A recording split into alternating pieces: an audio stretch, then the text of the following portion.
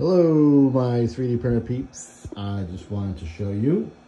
I'm here with the Creality CR6 Max, and I'm printing directly from the all-new Creality Space Pi filament dehydrator.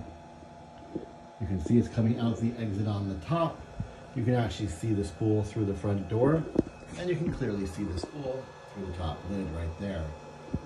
It's going directly into the CR6 Max and printing very nicely.